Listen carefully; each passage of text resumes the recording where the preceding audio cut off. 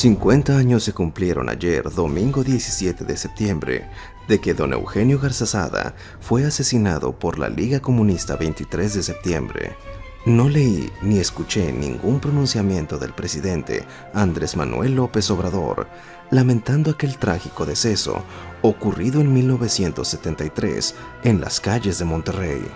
Quizás si don Eugenio hubiese llevado los apellidos Allende, Castro, Chávez, Ortega, Maduro o Morales, el mandatario habría tomado incluso un avión para trasladarse a la metrópoli regiomontana para rendirle justo tributo al prócer empresarial, como lo hizo la semana pasada cuando viajó seis horas en avión hasta Chile para hacer lo propio con el 50 aniversario luctuoso del presidente comunista Salvador Allende, quien perdiera la vida en el golpe de Estado asestado por el general Augusto Pinochet. Pero el inquilino de Palacio Nacional no trata de hacer un acto de justicia, sino de rendir culto ideológico a sus afines, sin importar los méritos que forjaron otros prohombres como don Eugenio para hacer de México un mejor país. Bajo el cliché López Obradorista, don Eugenio sería clasificado hoy por el dueño de las mañaneras como un conservador, fifi, que solo buscaba el lucro en sus negocios, Quizás incluso lo ubicaría como integrante de la mafia del poder. De poco serviría al presidente López Obrador saber que el empresario asesinado en 1973 fue junto con su familia el vanguardista creador de prestaciones a sus empleados que en aquellos lejanos años no eran obligatorias por la ley. Más aún, no existían, ni político alguno las había imaginado aún. Bajo la batuta de su padre, don Isaac Garza, se crean las empresas de cervecería Cuauhtémoc y de fábricas Monterrey, la clínica Cuauhtémoc y famosa, con la que se inauguró el primer servicio médico gratuito a las familias de los trabajadores. Eso sucedió 25 años antes de que en México se creara el Instituto Mexicano del Seguro Social y la prestación médica se hiciera obligatoria en todas las empresas y para 1957 el conglomerado de don Eugenio ya les otorgaba la prestación de vivienda a sus trabajadores, 15 años antes de que esta fuera una prestación obligatoria con la creación en 1972 del Infonavit, 15 años adelantado a su tiempo.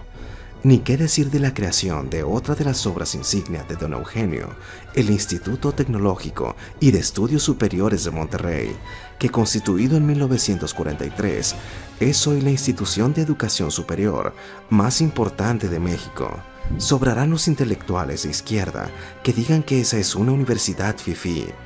Yo puedo dar testimonio de lo contrario, porque fui un becario de esa casa de estudios, gracias a la generosidad de don Eugenio, quien desde la fundación de esa institución hasta estos días continúa otorgando becas a miles de mexicanos que sin tener los recursos suficientes, pero exhibiendo buenas calificaciones, son admitidos a estudiar en los 25 campus desplazados por el Tecnológico de Monterrey en el territorio nacional pero el presidente López Obrador carece de la humildad y la sensatez para reconocer lo que un hombre como don Eugenio Garzazada hizo por México. Dos botones de muestra para confirmarlo.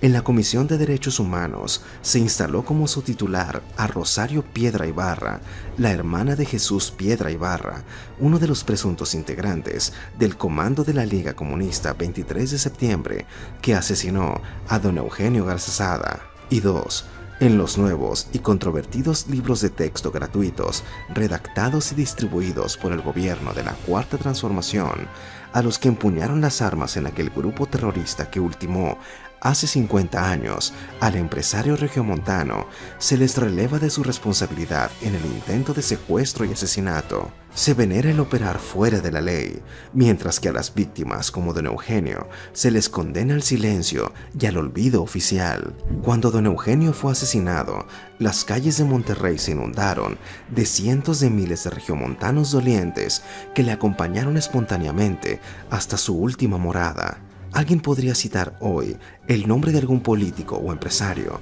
que pudiese llevar un contingente similar a llorar su muerte en un funeral público. Pésele a quien le pese, comenzando por el inquilino de Palacio Nacional, la memoria de don Eugenio Garzazada continúa vigente 50 años después de que le arrebataran la vida a delincuentes que hoy su gobierno ensalza y vanagloria. ¿Dónde están los don Eugenios Garzazada de nuestros días?